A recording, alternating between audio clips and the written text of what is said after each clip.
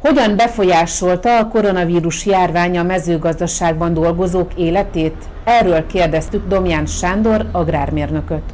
Domján Sándor elmondta, természetesen a füldőgyi munkákat el kellett végezniük, de igyekeztek mindent megtenni azért, hogy óvják a munkavállalóik egészségét. Hát a mezőgazdaságban egy dolognak nagyon könnyen eleget tudtunk tenni, ez a másfél méter távolságtartás mert uh, itt azért ritkábban vagyunk, a jó levegőn vagyunk, a friss levegőn vagyunk, kim vagyunk a természetben, de ez akkor is így van, amikor nincs vírushelyzet.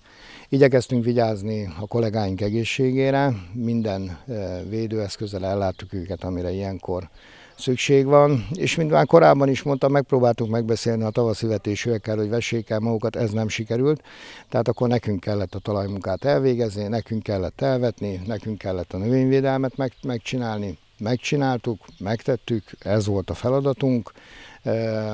Reméljük, hogy, hogy nem tér vissza, bár minden jel ugye, és a hírek is arról szólnak, hogy igen.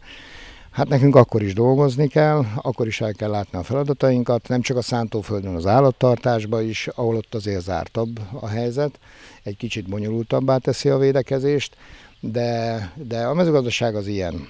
Minden nap van munka, minden nap kell valamit tennünk, aki állatot is tartanak, meg tényleg 365 napból áll az év a munka szempontjából is. A munkaerőhiány a fent említett időszakban átmenetileg sem kedvezett a mezőgazdaságnak, de bíznak abban, hogy a téren hamarosan változás fog bekövetkezni.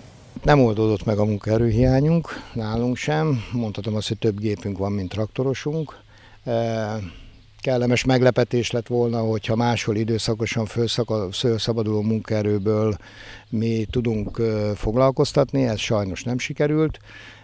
Talán azért is, mert várta mindenki, hogy mi lesz a vége a Covid-nak, mikor lesz vége a vészhelyzetnek, mikor találhat az eredeti munkahelyén munkába.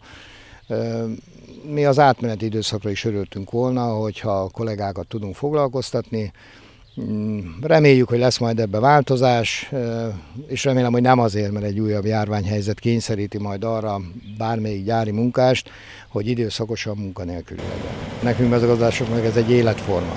Tehát mi tudtuk, hogy mit választunk annak idején, amikor ezt a szakterületet választottuk.